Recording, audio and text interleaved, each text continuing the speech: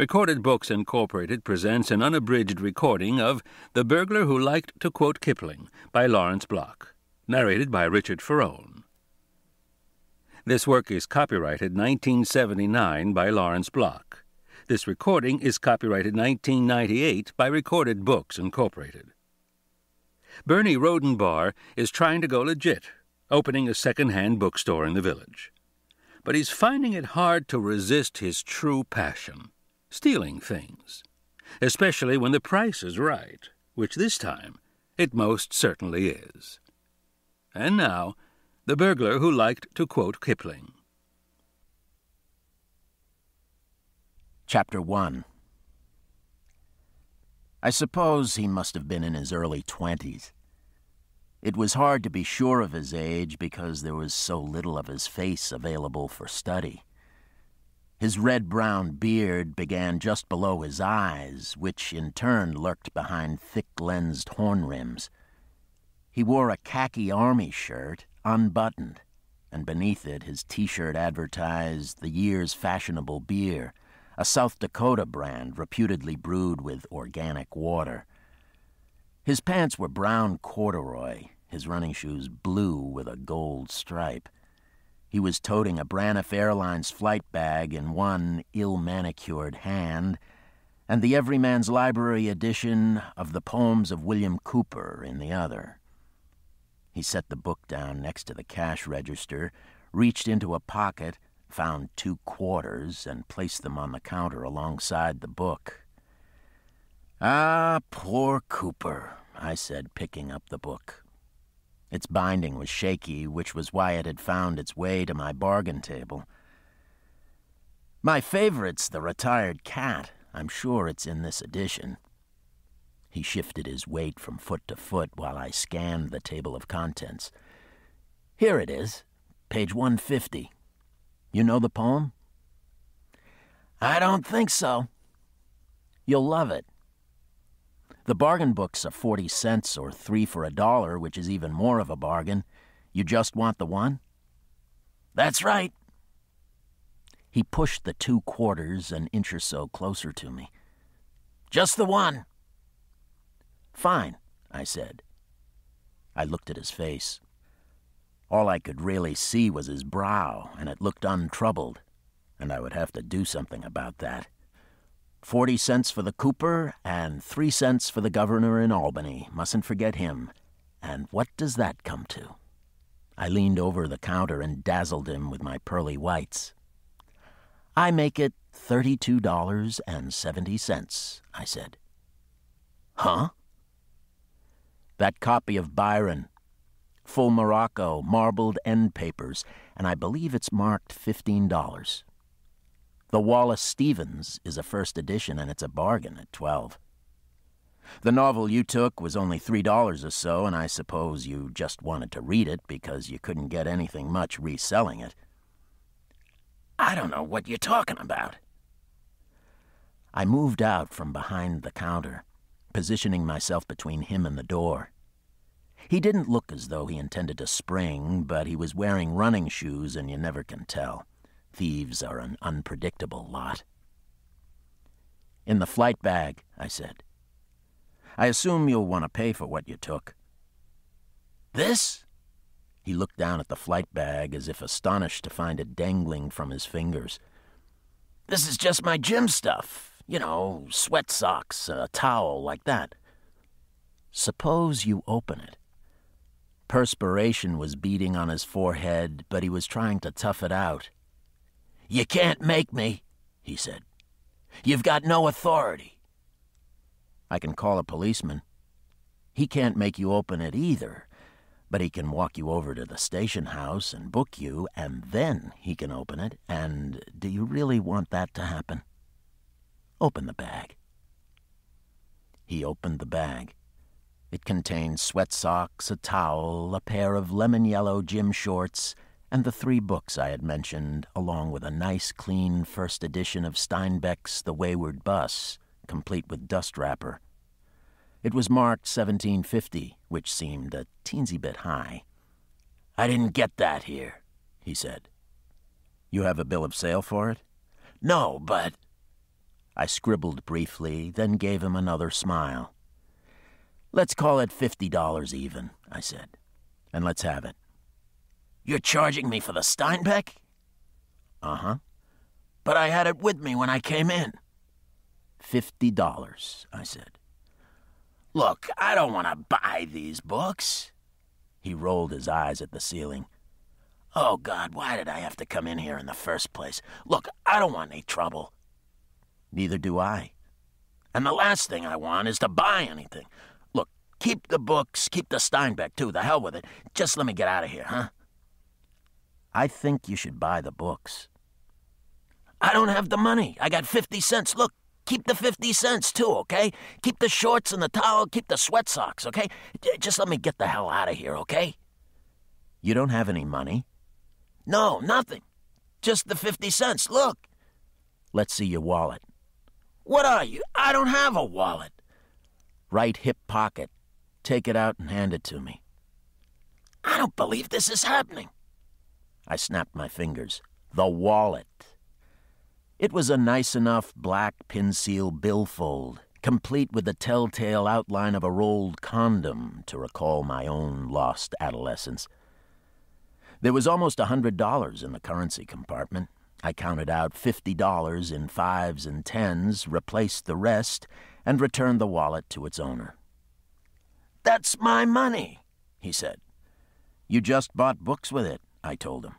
Want a receipt? I don't even want the books, damn it. His eyes were watering behind the thick glasses. What am I going to do with them, anyway? I suppose reading them is out. What did you plan to do with them originally? He stared at his track shoes. I was going to sell them. To whom? I don't know, some store. How much were you going to get for them? I don't know, fifteen, twenty dollars. You'd wind up taking ten. I suppose so. Fine, I said. I peeled off one of his tens and pressed it into his palm. Sell them to me. Huh? Saves running from store to store. I can use good books. They're the very sort of item I stock, so why not take the ten dollars from me? This is crazy, he said. Do you want the books or the money? It's up to you. I don't want the books. Do you want the money? I guess so. I took the books from him and stacked them on the counter. Then put it in your wallet, I said, before you lose it. This is the craziest thing ever. You took 50 bucks from me for books I didn't want, and now you're giving me 10 back. I'm out $40, for God's sake. Well, you bought high and sold low. Most people try to work it the other way around. I should call a cop. I'm the one getting robbed. I packed his gym gear into the Braniff bag, zipped it shut, handed it to him. Then I extended a forefinger and chucked him under his hairy chin. A tip, I said. Huh? Get out of the business. He looked at me. Find another line of work. Quit lifting things. You're not terribly good at it, and I'm afraid you're temperamentally unsuited to the life that goes with it. Are you in college? I dropped out. Why? It wasn't relevant. Few things are, but why don't you see if you can't get back in? Pick up a diploma and find some sort of career that suits you. You're not cut out to be a professional thief. A professional? He rolled his eyes again. Jesus, I ripped off a couple of books. Don't make a life's work out of it, huh? Anybody who steals things for resale is a professional criminal, I told him. You just weren't doing it in a very professional manner, that's all. But I'm serious about this. Get out of the business. I laid a hand lightly on his wrist. Don't take this the wrong way, I said. But the thing is, you're too dumb to steal.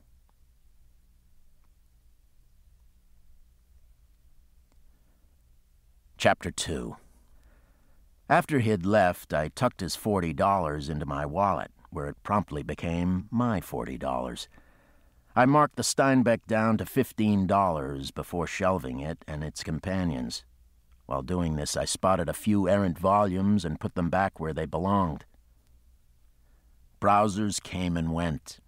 I made a few sales from the bargain table, then moved a Heritage Club edition of Virgil's Eclogues. Boxed. The box water damaged. Slight rubbing on spine. Price 850.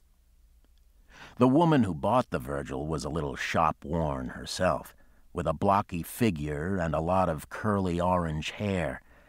I'd seen her before, but this was the first time she had bought anything, so things were looking up. I watched her carry Virgil home, then settled in behind the counter with a Grosset and Dunlap reprint of Soldiers 3. I'd been working my way through my limited stock of Kipling lately. Some of the books were ones I'd read years ago, but I was reading Soldiers 3 for the first time and really enjoying my acquaintance with Ortheris and Learoyd and Mulvaney when the little bells above my door tinkled to announce a visitor. I looked up to see a man in a blue uniform lumbering across the floor toward me. He had a broad, open, honest face but in my new trade, one learned quickly not to judge a book by its cover.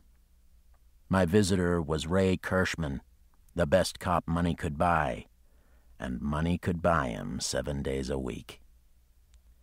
Hey, Bern, he said, and propped an elbow on the counter. Read any good books lately? Hello, Ray.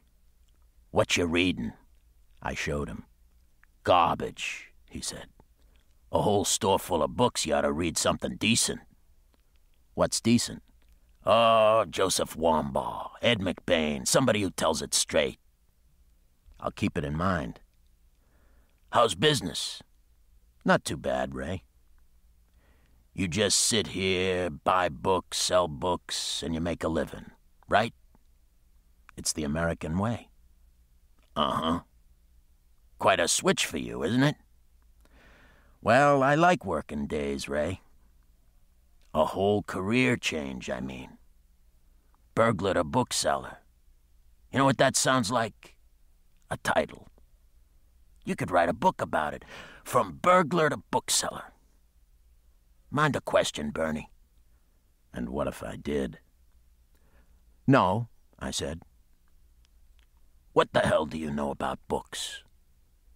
Well, I was always a big reader. In the jug, you mean?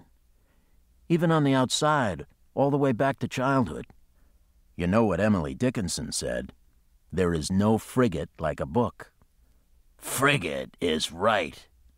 You didn't just run around buying books and then open up a store.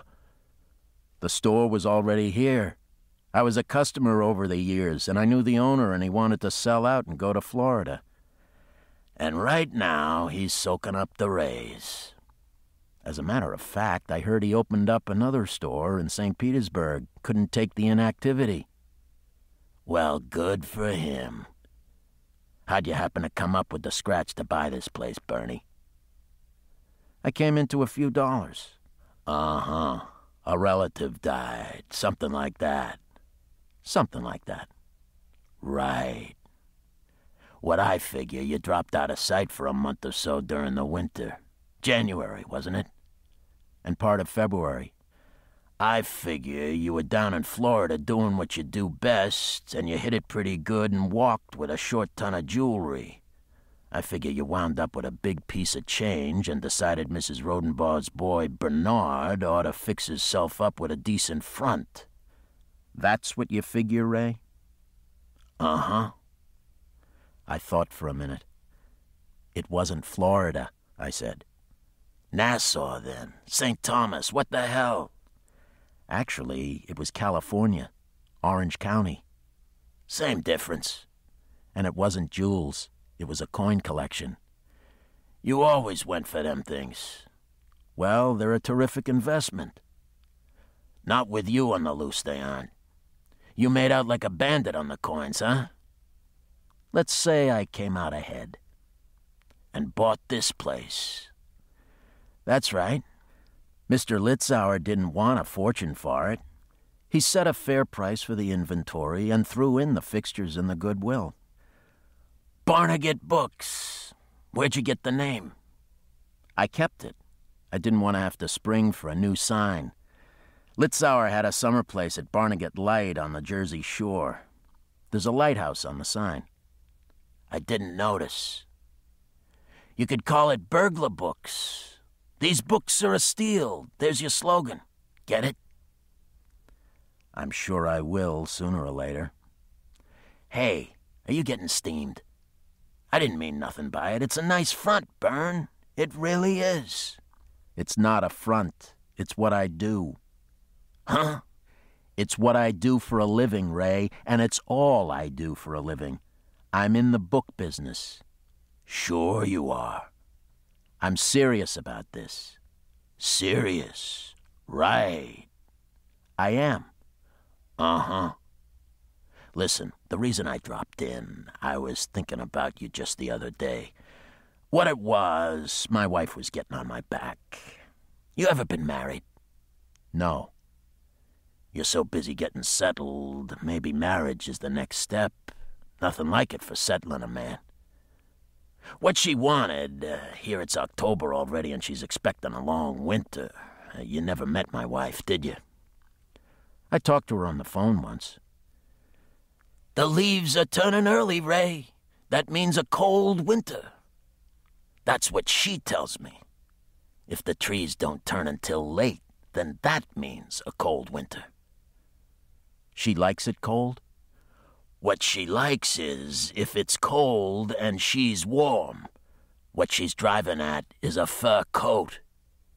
Oh. She goes about five six, wears a size 16 dress.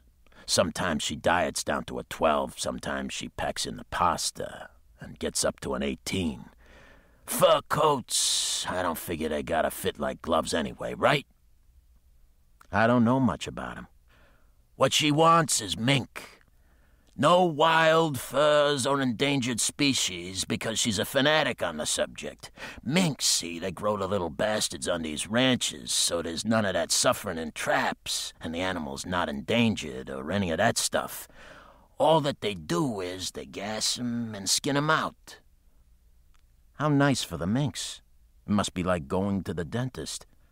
Far as the color, I'd say she's not gonna be too fussy. Just so it's one of your up-to-date colors. Your platinum, your champagne, not the old dark brown shades. I nodded, conjuring up an image of Mrs. Kirschmann draped in fur. I didn't know what she looked like, so I allowed myself to picture a sort of stout Edith Bunker. Oh, I said suddenly. There's a reason you're telling me this. Well, I was thinking, Bern. I'm out of the business, Ray. What I was thinking, you might run into a coat in the course of things. You know what I mean? I was thinking that you and me, we go back a ways. We've been through a lot, the two of us, and. I'm not a burglar anymore, Ray. I wasn't counting on a freebie, Bernie. Just a bargain. I don't steal anymore, Ray. I hear you talking, Bern. I'm not as young as I used to be. Nobody ever is, but these days I'm starting to feel it. When you're young, nothing scares you. When you get older, everything does. I don't ever want to go inside again, Ray. I don't like prisons. These days, they're country clubs. Then they changed a whole hell of a lot in the past few years, because I swear I never cared for them myself. You meet a better class of people on the D train. Guy like you, you could get a nice job in the prison library. They still lock you in at night. So you're straight, right? That's right. I've been here how long? All that time, you haven't had a single person walk in the store. Maybe the uniform keeps 'em away, Ray. Maybe business ain't what it might be. You've been in the business how long, Bern? Six months? Closer to seven. Bet you don't even make the rent. I do all right. I marked my place in Soldiers 3, closed the book, put it on the shelf behind the counter. I made a $40 profit from one customer earlier this afternoon, and I swear it was easier than stealing. Is that a fact? You're a guy made 20 grand in an hour and a half when things fell right and went to jail when they didn't. Forty bucks. I can see where that'd really have you turning handsprings. There's a difference between honest money and the other kind. Yeah, and the difference comes to something like $19,960. This here, Bern, this is nickels and dimes. Let's be honest, you can't live on this. I never stole that much, Ray. I never lived that high. I got a small apartment on the Upper West Side. I stay out of nightclubs. I do my own wash in the machines in the basement. The store's steady.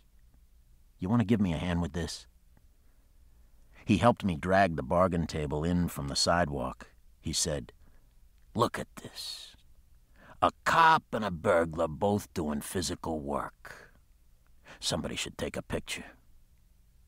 What do you get for these? Forty cents, three for a buck? And that's keeping you in shirts and socks, huh? I'm a careful shopper. Look, Bern, if there's some reason you don't want to help me out on this coat thing. Cops, I said. What about cops? A guy rehabilitates himself, and you refuse to believe it. You talk yourselves hoarse, telling me to go straight. When the hell did I ever tell you to go straight? You're a first class burglar. Why would I tell you to change? He let go of it while I filled a shopping bag with hardcover mysteries and began shutting down for the night. He told me about his partner, a clean cut and soft spoken young fellow with a fondness for horses and a wee amphetamine habit. All he does is lose and bitch about it, Ray complained. Until this past week when he starts picking the ponies with x ray vision. Now all he does is win, and I swear I liked him better when he was losing. His luck can't last forever, Ray. That's what I've been telling myself. What's that? Steel gates across the windows? You don't take chances, do you? I drew the gates shut, locked them. Well, they were already here, I said stiffly. Seems silly not to use them. No sense making it easy for another burglar, huh? No honor among thieves, isn't that what they say? What happens if you forget the key, huh, Bern? He didn't get an answer, nor do I suppose he expected one. He chuckled instead and laid a heavy hand on my shoulder. I guess you'd just call a locksmith, he said. You couldn't pick the lock, not being a burglar anymore. All you are is a guy who sells books. Barnegat Books is on East 11th Street between Broadway and University Place. When I'd finished locking up, I carried my shopping bag two doors east to a dog grooming salon called the Poodle Factory. Carolyn Kaiser had a skittish Yorkie up on the grooming table and was buffing its little nails. She said, Hey, is it that time already? Just let me finish with Prince Philip here, and I'll be ready to go. If I don't get a drink in me soon, I'll start yipping like a chihuahua. I got comfortable on the pillow sofa while Carolyn put the final touches on the terrier's pedicure and popped him back in his cage. During the course of this, she complained at length about her lover's misbehavior. Randy had come home late the previous night, drunk and disheveled and marginally disorderly, and Carolyn was sick of it. I think it's time to end the relationship, she told me. But the question is, how do I feel about ending the relationship? And the answer is, I don't know how I feel because I can't get in touch with my feelings. And I figure if I can't get in touch with them, I might as well not feel them altogether. So let's go someplace with a liquor license because all I want to feel right now is better. And how was your day, Bernie? A little long. Yeah, you do look faintly tuckered. Let's go, huh? I'm so sick of the smell of this place. I feel like I'm wearing wet dog perfume. We ducked around the corner to a rather tired saloon called the Bum Rap. The jukebox leaned toward country and western, and Barbara Mandrell was singing about adultery as we took stools at the long, dark bar. Carolyn ordered a vodka martini on the rocks, I asked for club soda with lime and got a nod from the bartender and a puzzled stare from Carolyn. It's October, she said. So? Lent's in the spring. Right. Doctor's orders or something? Giving the old liver a rest? Just don't feel like a drink tonight. Fair enough. Well, here's to crime. Hey, did I just say something wrong?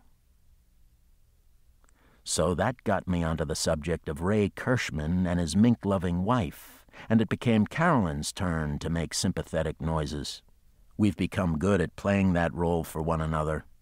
She's crowding 30 with Dutch cut dark brown hair and remarkably clear blue eyes.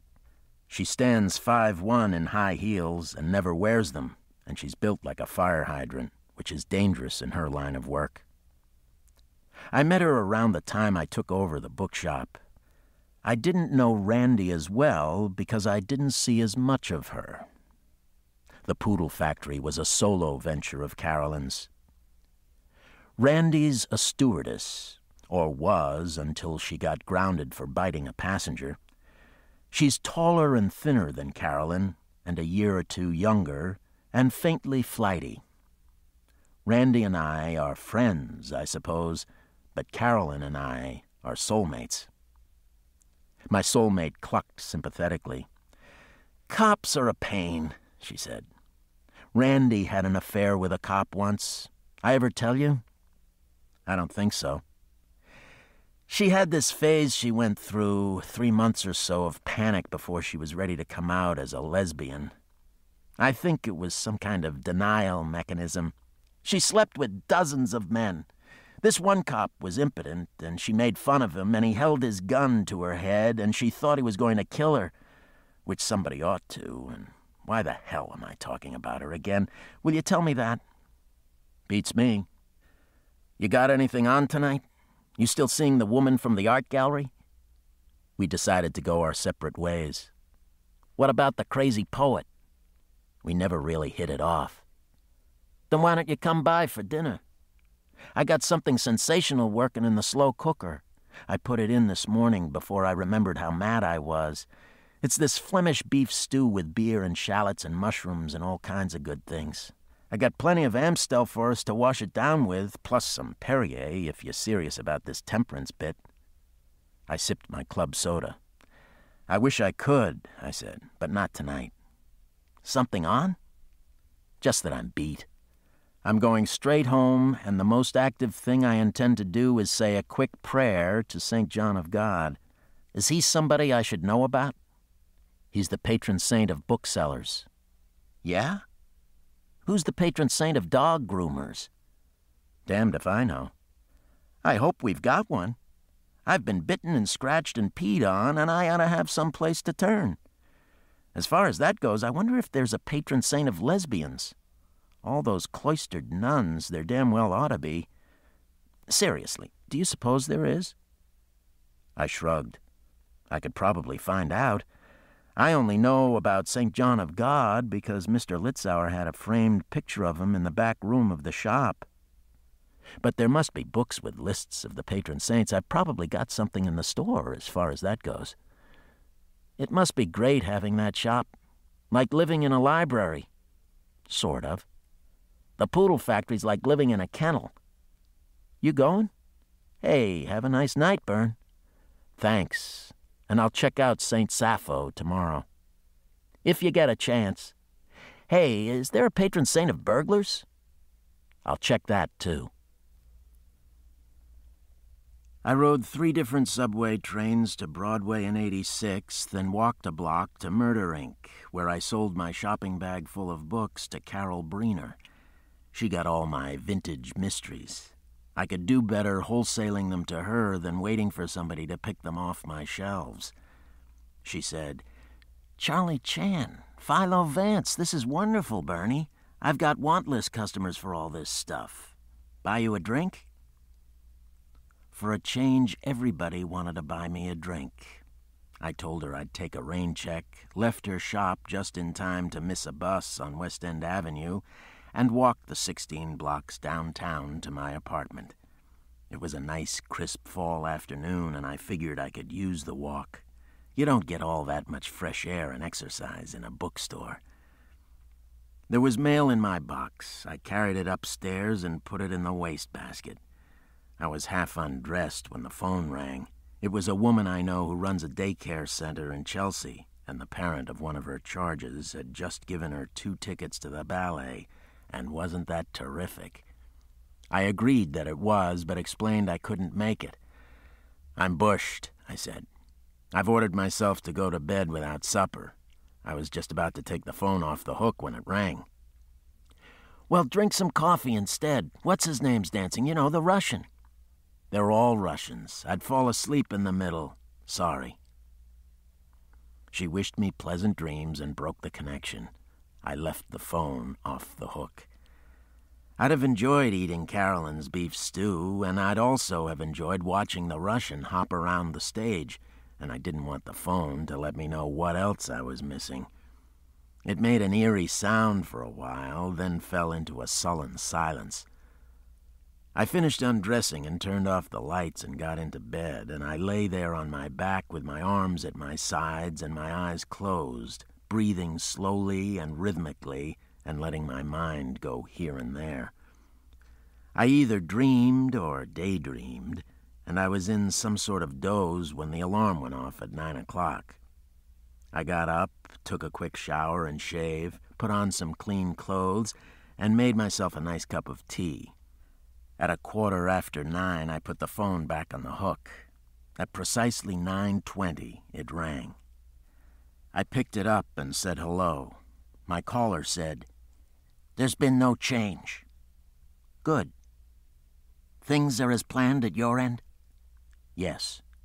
Good, he said, and rang off. No names, no pack drill.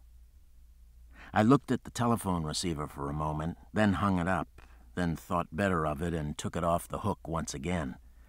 It whined for a while, but by the time I was done with my tea, it was quiet. I finished dressing I was wearing a three piece navy pinstripe suit, a Wedgwood blue shirt, a tie with narrow green and gold diagonal stripes on a navy field. My shoes combined black calfskin moccasin toe uppers and thick crepe soles. Wearing them, I made no sound as I scurried around the apartment, gathering up one thing and another, making my final preparations. While my shoes were silent, my stomach was rumbling a bit. I hadn't eaten anything since lunch some nine hours earlier, but I didn't want to eat, and I knew better than to drink anything. Not now. I checked, made sure I had everything. I went out into the hall, double locked my own door, then rode the elevator past the lobby to the basement, letting myself out via the service entrance to avoid passing my doorman. The air had an edge to it, it wasn't cold enough for mink, but it was certainly topcoat weather. I had mine over my arm, and I took a moment to put it on. Was there a patron saint of burglars? If so, I didn't know his name. I murmured a quick prayer, addressed it to whom it might concern, and set off to resume my life of crime.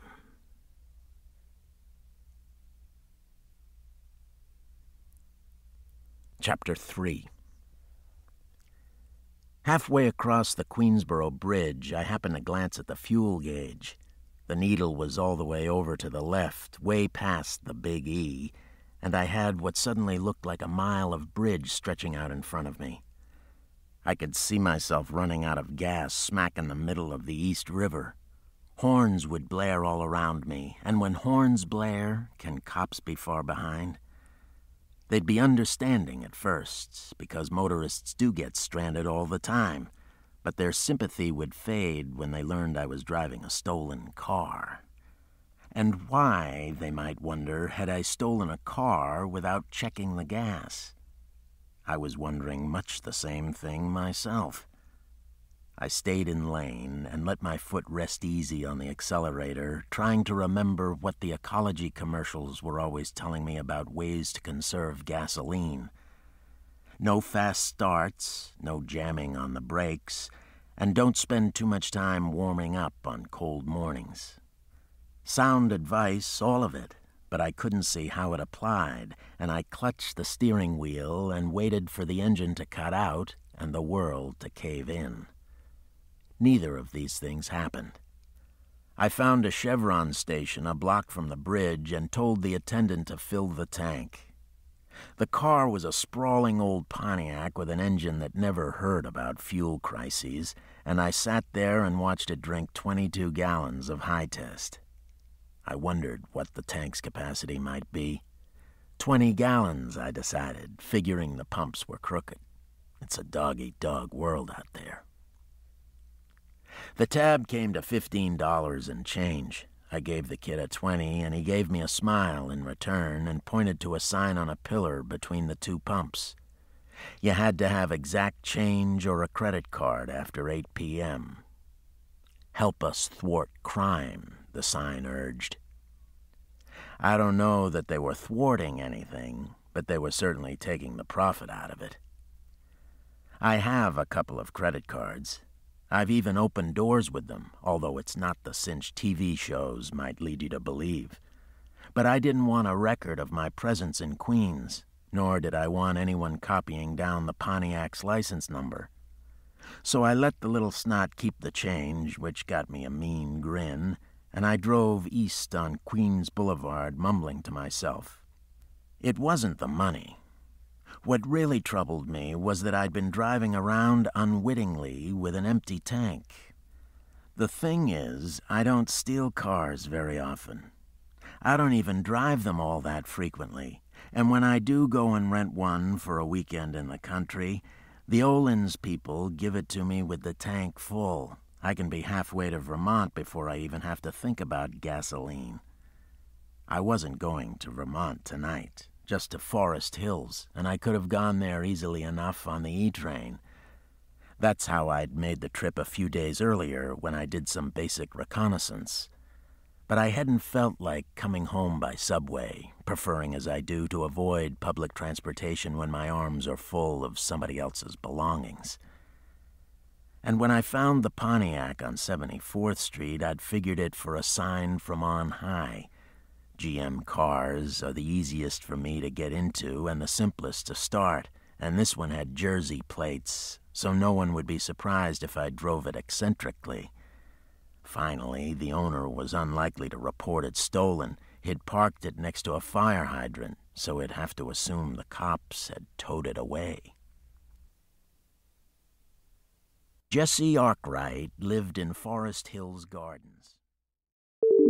We hope you enjoyed this preview. To continue listening to this audiobook on Google Play Books, use the link in the video description.